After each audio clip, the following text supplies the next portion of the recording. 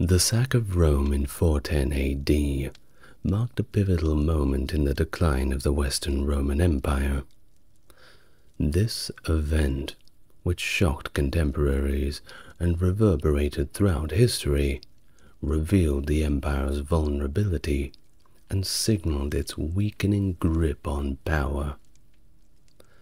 Beyond its immediate impact on the city of Rome itself, the sack carried profound religious, political, and cultural implications, shaping the course of events in the late Roman world and leaving a lasting legacy that would be discussed for centuries to come. Hello everyone, welcome to the channel. If you're new here, it's good to meet you. And if you're coming back, it's a great thing to have you with me again. If you'd like to support the channel, perhaps follow the links to the Patreon. Otherwise, like, comment, and subscribe if you feel inclined to do so. Now, without further ado, let's get on with the video. The 410 AD sack of Rome.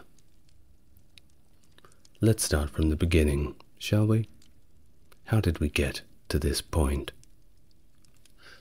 Over four centuries, the Germanic tribes underwent profound transformations due to their interaction with the Romans. Population growth, economic development, and the consolidation of tribal alliances gradually enhanced their ability to challenge Roman authority. Among these tribes, the Goths emerged as prominent actors engaging in recurrent conflicts with the Roman Empire.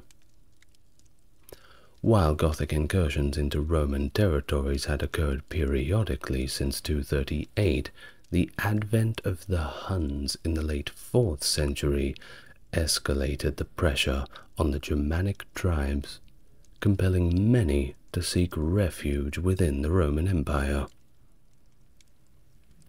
In 376, led by Fritigern and Alavivus, the Therving Goths sought sanctuary in the Eastern Roman Empire, facing adversaries such as starvation, oppression, and administrative corruption. These challenges fueled discontent, leading to widespread rebellion and looting throughout the Eastern Balkans.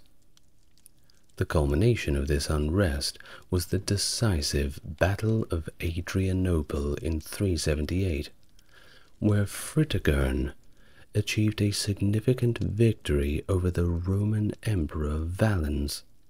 They even managed to kill the emperor on the battlefield.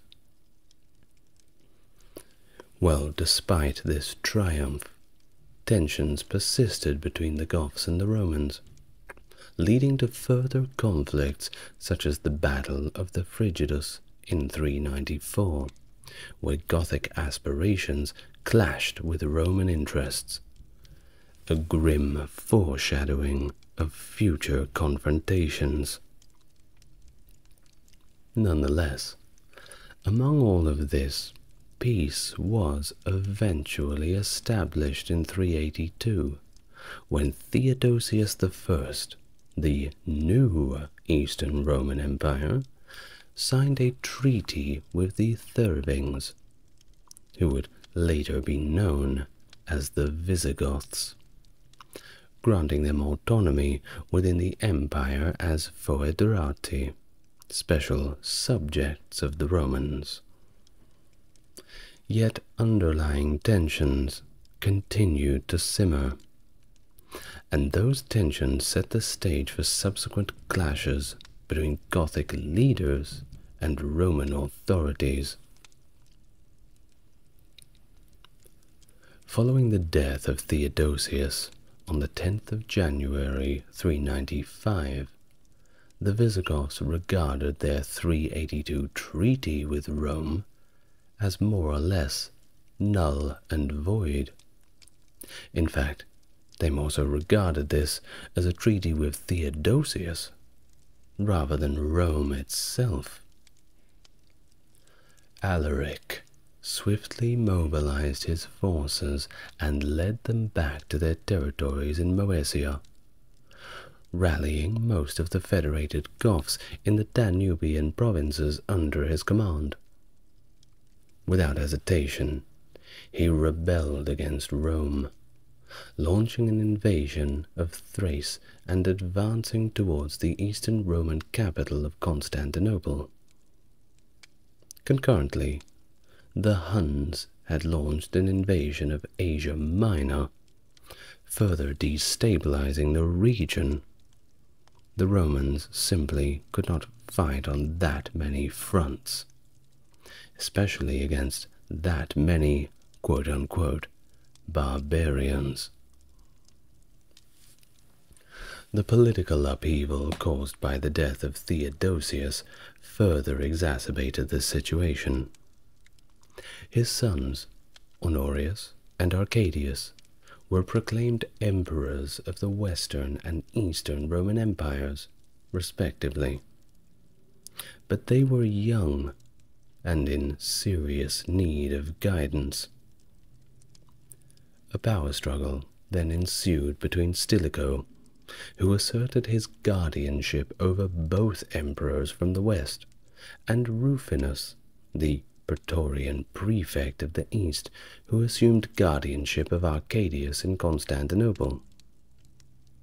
Stilicho claimed that Theodosius had appointed him as sole guardian on his deathbed, granting him authority over both the Eastern and Western empires. Well, of course, it was rather hard to claim Stilicho was wrong with this, as Theodosius had conveniently passed away, and with his dying word clutching the hand of his best friend ever, Stilicho, said, It is all yours, friend, everything. Well, not many people really believed this. In an attempt to resolve the crisis, Rufinus engaged in negotiations with Alaric of all people to persuade him to withdraw from Constantinople, possibly by offering him territories in Thessaly.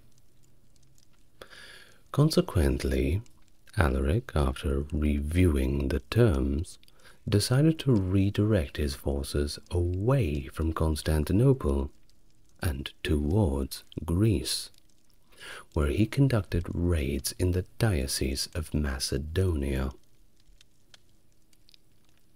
Responding to the escalating threat, the Magister Utriusque Militiae, Stilicho, led a combined Western and Eastern Roman army out of Italy to confront Alaric and the Goths head on. Eventually, finding Alaric entrenched behind a circle of wagons on the plain of Larissa in Thessaly, Stilicho opted for a prolonged siege rather than engaging in a direct conflict. However, Arcadius, influenced by anti-Stilicho factions, ordered Stilicho to withdraw from Thessaly immediately, further complicating the situation. Upon receiving the orders from Emperor Arcadius, Stilicho complied by redirecting his eastern troops to Constantinople and leading his western forces back to Italy. The eastern troops, under the command of the Gothic leader Gainas, arrived in Constantinople, where they encountered Rufinus, who was subsequently assassinated in the November of 395. The specific circumstances surrounding Rufinus's death whether orchestrated by Stilicho or perhaps by Rufinus' successor Eutropius, remain a little uncertain. But you, dear listener, can engage in your own speculation, just as I engage in mine. Now, Stilicho's withdrawal from Greece allowed Alaric to embark on a devastating campaign, plundering several prominent Greek cities, including Piraeus, Corinth, Argos, and Sparta. Indeed, Sparta were not as tough as they used to be. Now, Athens managed to avoid destruction by paying a ransom, so they got off pretty easily. Stilicho returned to Greece in 397, bolstering his army with primarily barbarian allies, hoping for a warmer reception from the Eastern Roman government. After engaging in some skirmishes, Stilicho laid siege to Alaric at Pholoe, but ultimately he retreated to Italy, and Alaric marched straight into Epirus. The reasons behind Stilicho's failure to decisively deal with Alaric are another subject of debate. Now, some argue that Stilicho's predominantly barbarian army proved to be unreliable, while others suggest that pressure from Arcadius and the Eastern government compelled his withdrawal. Alternatively, there are claims that Stilicho struck a deal with Alaric and betrayed the interests of the East. Well, regardless, Stilicho's actions ultimately led to his designation as a public enemy in the Eastern Empire in the same year. Alaric's successful incursion into Epirus prompted the Eastern Roman government to negotiate him, with him rather, in 398, offering him the title of Magister Militum per Illyricum and granting him authority over the Roman command in his designated province. It's a pretty good deal. Meanwhile, Stilicho, that very popular general, suppressed a rebellion in Africa in 399, allegedly instigated by the Eastern Roman Empire. He also solidified his hold on power in the West by arranging the marriage of his daughter Maria to the 11 year old Western Emperor Honorius.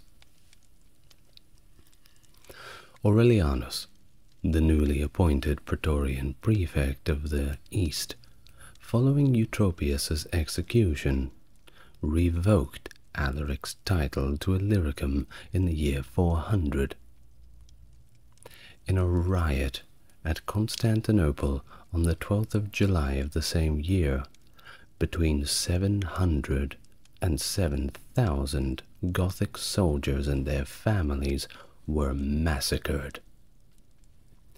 Gaianus, previously made Magister Militum, rebelled, but was killed by the Huns under Uldin, who sent his head back to Constantinople as a grim offering, and a political statement, no doubt. Feeling vulnerable in the East and isolated from Roman officialdom due to these events, Alaric seized the opportunity while Stilicho was occupied with repelling an invasion of Vandals and Alans in Raetia and Noricum. Alaric led his people into Italy in 401, reaching it in November with surprisingly minimal resistance. The Goths then captured several unnamed cities and laid siege to the western Roman capital of Mediolanum. Stilicho now bolstered by Alan and Vandal federates, relieved the siege, compelling a crossing at the Adda River. Alaric then retreated to Pollentia, where a drawn-out encounter ensued. On Easter Sunday, the 6th of April 402, Stilicho initiated a surprise attack, resulting in the Battle of Pollentia, which ended inconclusively. Results notwithstanding, Alaric retreated once more, leading to further confrontations, including the Battle of Verona, where poor old Alaric suffered defeat and was besieged in a mountain fortress, sustaining significant losses. As desertions plagued Alaric's ranks, including some prominent figures like Sarus deserting to the Romans, Alaric withdrew his forces to the borderlands adjacent to Dalmatia and Pannonia. In response to the near capture of Mediolanum, Emperor Honorius relocated the Western Roman capital to Ravenna, which was a much more defensible position. This shift may have redirected the Western court's focus towards Italy's defense, potentially weakening the empire's overall position. Alaric, through certain better choices perhaps, eventually aligned himself with Stilicho, agreeing to assist him in claiming the Praetorian prefecture of Illyricum for the Western Empire. In 405, Stilicho appointed Alaric as Magister Militum of Illyricum. However, Radagaisus's invasion of Italy that same year disrupted their plans. Although Radagaisus was defeated in 406, Stilicho's subsequent attempts to support Alaric's invasion of Illyricum were thwarted by internal revolts in Gaul and a reconciliation with the Eastern Roman Empire in 408, signaling a shift in Alaric's significance to Stilicho and Rome.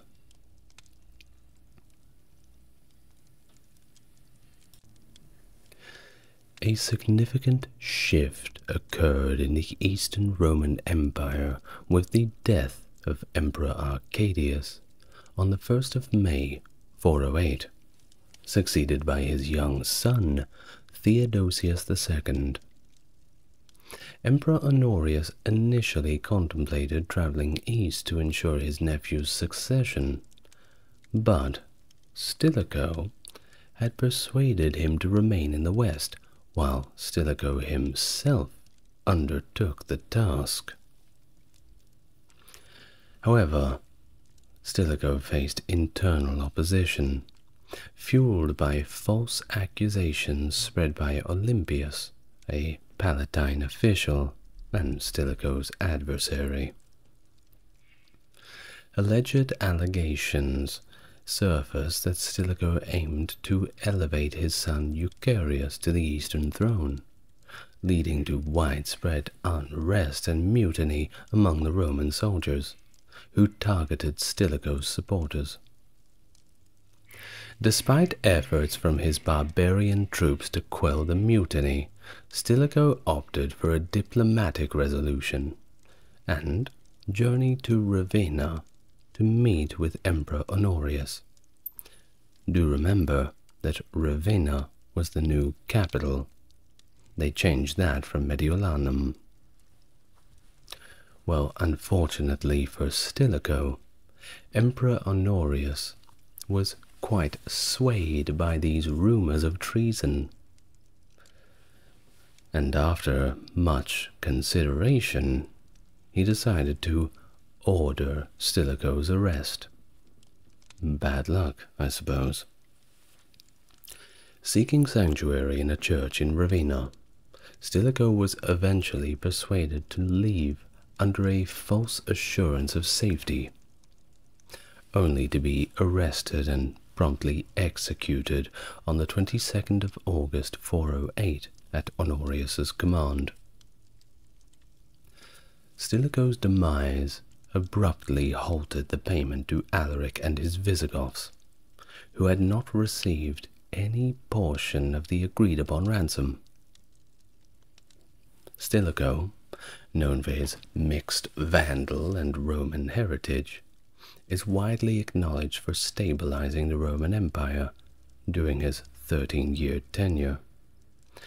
And ultimately, his untimely death had far reaching consequences for the empire's stability. Oh, and he must have been rolling in his grave too, because shortly after his death, his son Eucherius was also executed in Rome. Can't choose your family, huh? Well, with Stilicho removed from power, Olympius assumed a prominent role in the government, purging Stilicho's supporters and spearheading an anti-Germanic agenda. This shift in leadership led to indiscriminate violence against allied barbarian foederati soldiers and their families within Roman cities, and it wasn't the first time. Prompting thousands to flee Italy and seek refuge with Alaric in Noricum.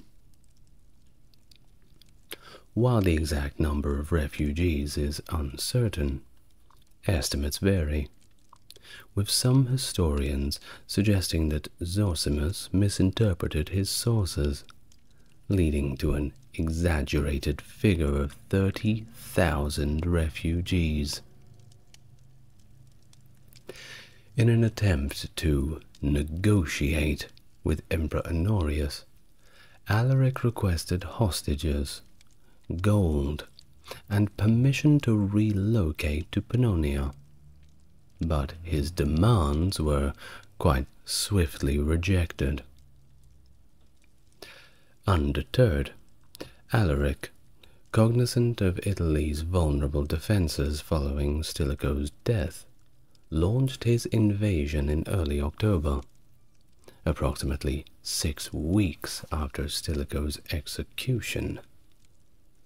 He also enlisted the support of his brother-in-law, Ataulf, urging him to join the incursion with reinforcements as soon as possible. Advancing southward, Alaric and his Visigoths pillaged cities along their route, including Ariminum.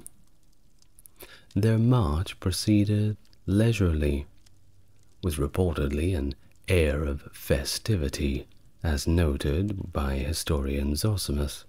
Apparently, they were having quite a great time.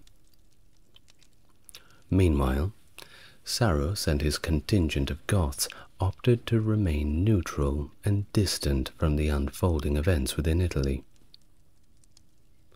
The monumental city of Rome, possibly housing up to 800,000 inhabitants at this time, found itself under siege by Alaric's forces of Visigoths in late 408.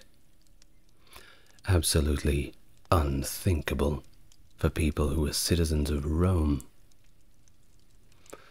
Well, amidst all of the chaos, panic, of course, gripped the population, prompting an effort to revive pagan rites as a defense mechanism against the Visigoths. Remember, at this time, it had only been around 80 or so years that the empire had become Christian. I believe the Edict of Milan from memory was 313. And many people faced the persecutions in the wake of that. Well, now people were thinking perhaps the gods of the old times were angry with them. I'm sure Grandpa was definitely screaming that out. well, that's once again speculation, my imagination that runs wild. Well, even Pope Innocent I reluctantly agreed to these rites to bring back a little bit of paganism to try and stem the tide of the Visigoths, some divine intervention, albeit he did these under strict conditions. Well, however, the attempt was thwarted by logistical challenges raised by the pagan priest, leading to its abandonment. So, unfortunately, no mass scale sacrifices and pagan rituals. Now, within the city, suspicion fell upon a certain Serena. That was the wife of the deceased Stilicho and the cousin of Emperor Honorius. She was erroneously believed to be colluding with Alaric. Interpret that however you will. Galla Placidia, Emperor Honorius's sister, also found herself trapped in Rome. Unfortunately for Serena, she was ultimately executed by the Roman Senate. Well, this made tensions even worse. People were starting to get a little bit frightened. And the walls of Rome, well, perhaps you couldn't see the Visigoths, but you could certainly hear them with their strange language outside, planning your doom. They're right outside the gate. They're gonna get in. As the siege persisted, the city's plight only worsened with Alaric's control over the Tiber River, which severely restricted the inflow of essential supplies. With dwindling provisions, starvation and disease ravaged the population. Reportedly, the streets were strewn with corpses in a desperate bid to negotiate terms, the Roman Senate dispatched envoys to Alaric, but their attempts were met with derision.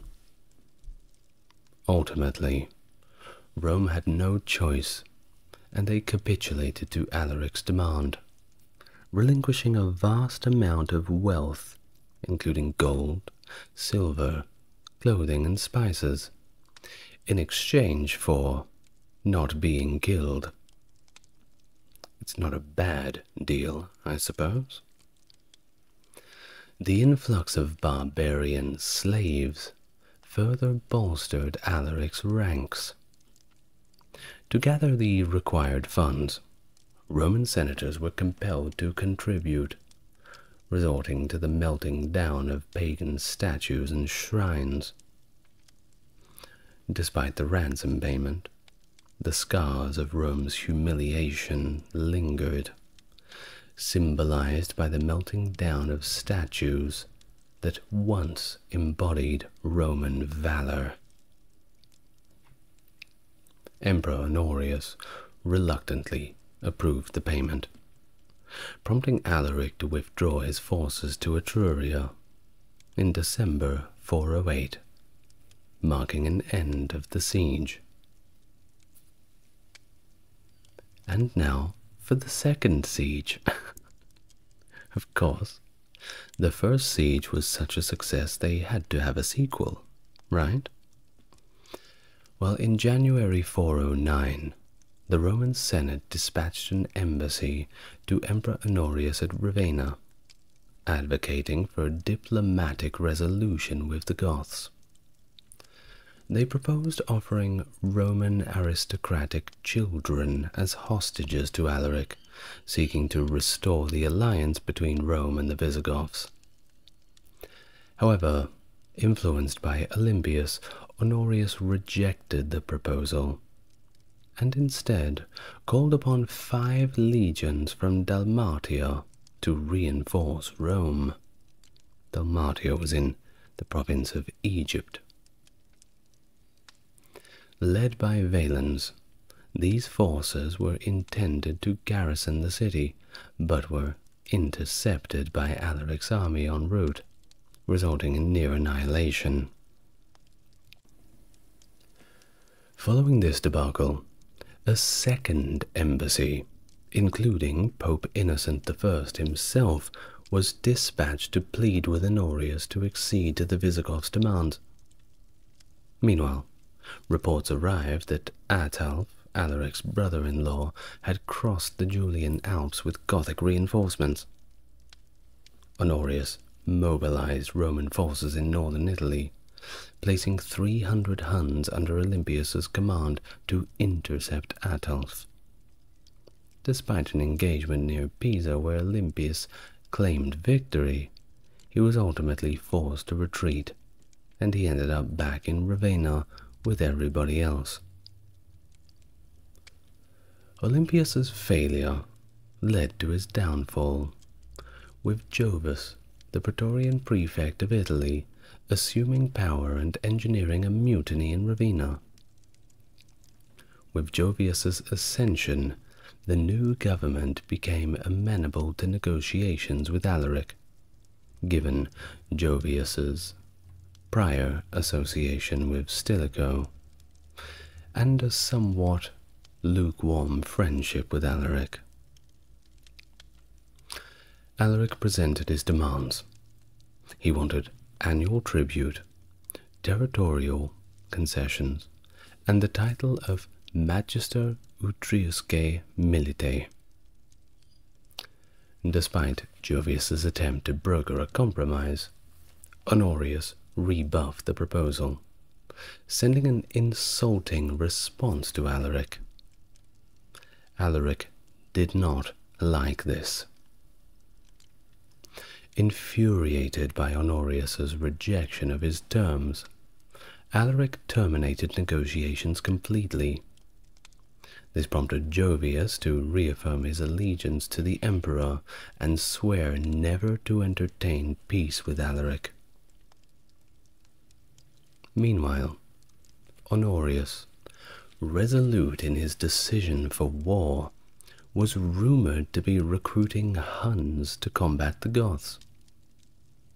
Alaric, upon hearing this, modified his demands, relinquishing his previous requests for Roman office and gold tribute, now seeking only lands in Noricum and grain supplies deemed necessary by the emperor.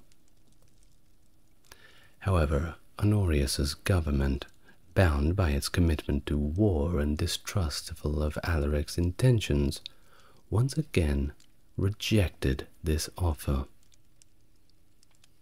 Unimpeded by the promised Hun reinforcements, Alaric resumed his siege of Rome, renewing to the city's sufferings from starvation and disease.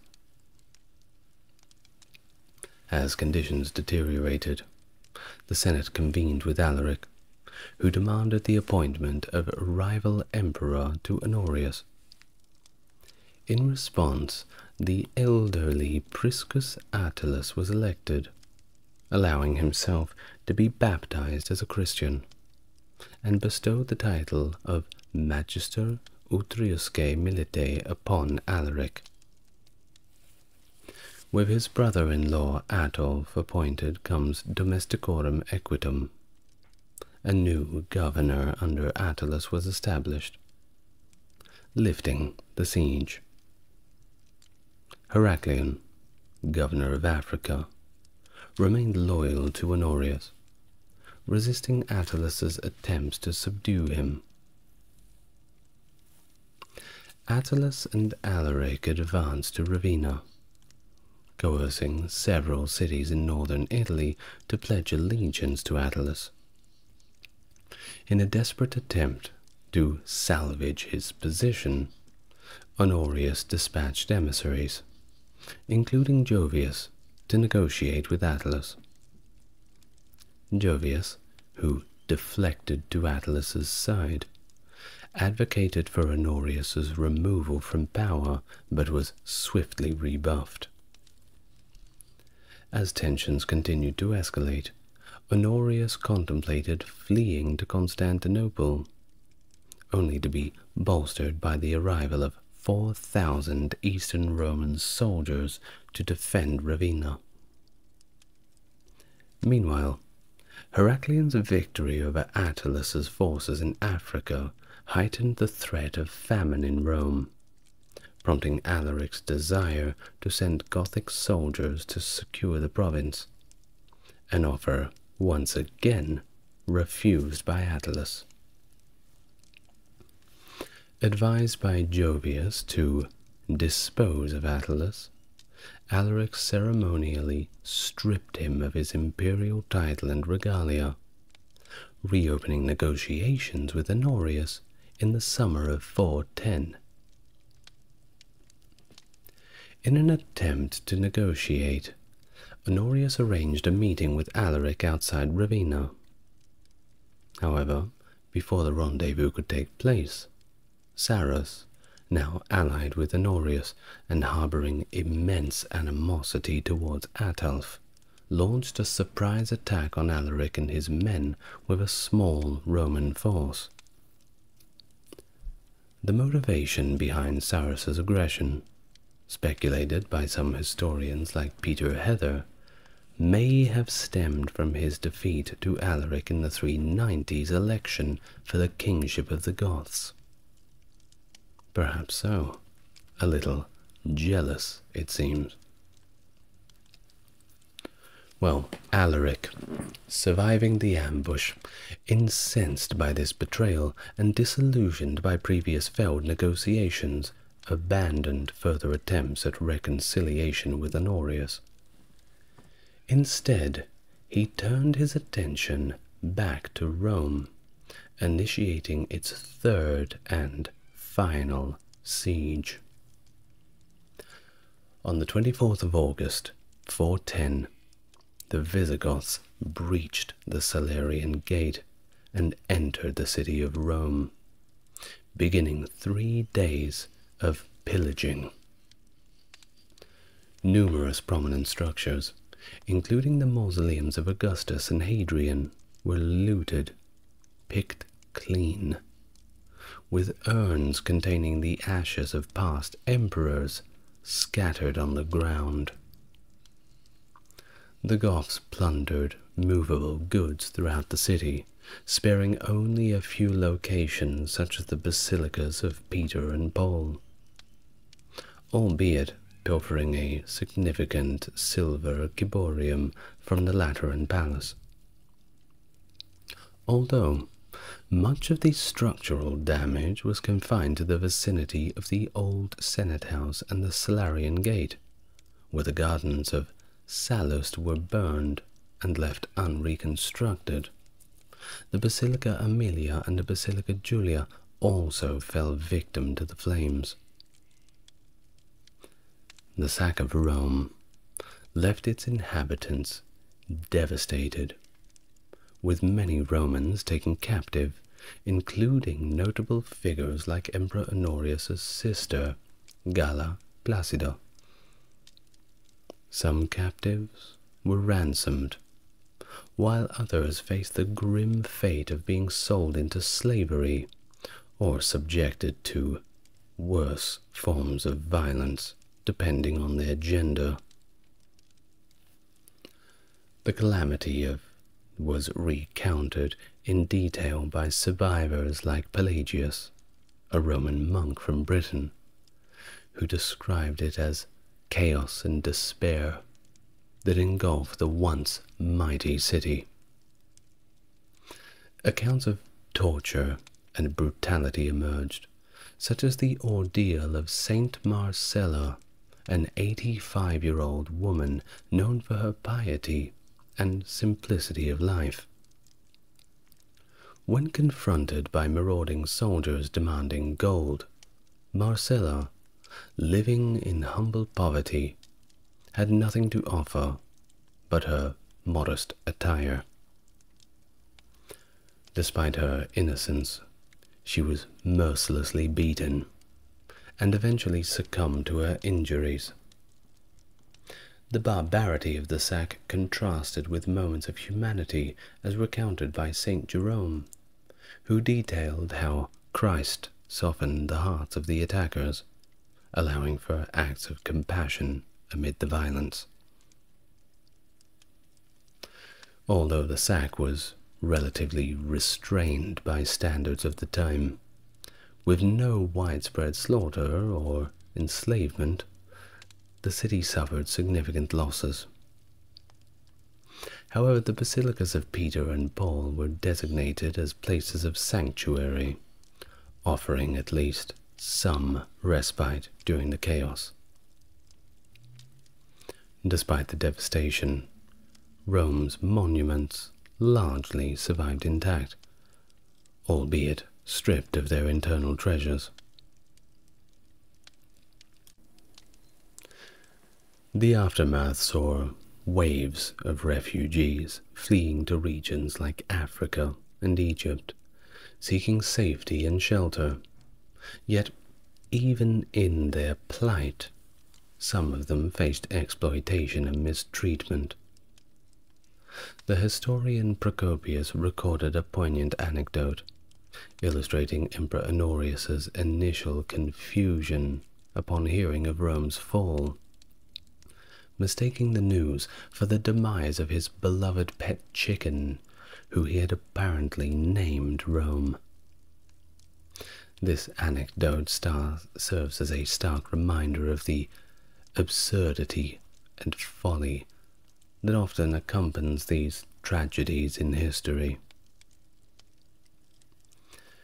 While the Visigothic invasion of Italy under Alaric marked a significant turning point in the decline of the Western Roman Empire.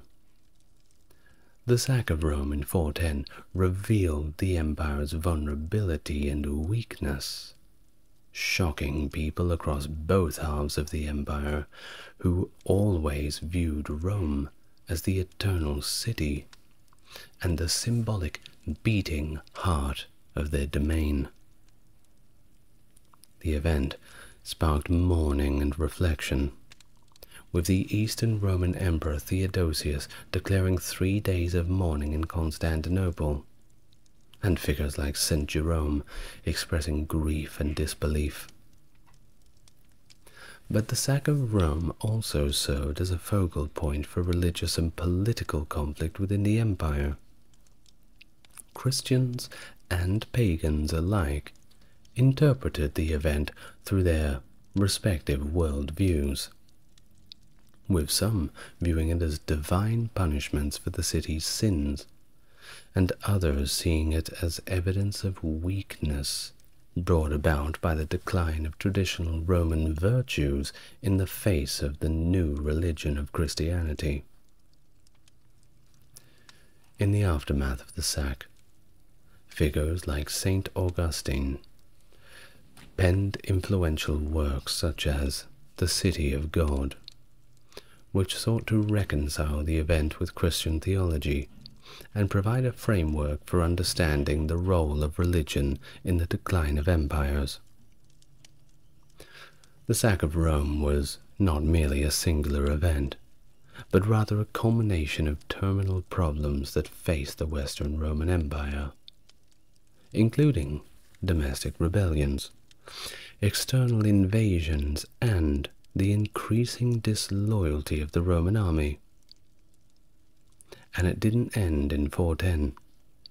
Subsequent sacks and invasions, such as those by the Vandals in 455, further weakened the empire until its ultimate collapse in 476, marking the end of the Western Roman Empire and the beginning of the Middle Ages in Europe. And with that, it marks the end of our video for today. Did you learn something? Well, I just hope that your part of the world is not invaded by Visigoths anytime soon. Fingers crossed. I'd like to thank my Mega Chad patron Stark Factory for its glorious contribution. Thank you very much. And I'd like to thank you, dear listener, for listening so far. If you've enjoyed it so far, why not like the video, leave your comments down below, and subscribe to the channel. And make sure you hit the bell as well. Apparently people aren't getting all of the video notifications come up. But until next time, I wish you all the best. Look after each other. Drink plenty of water. Good night, everyone.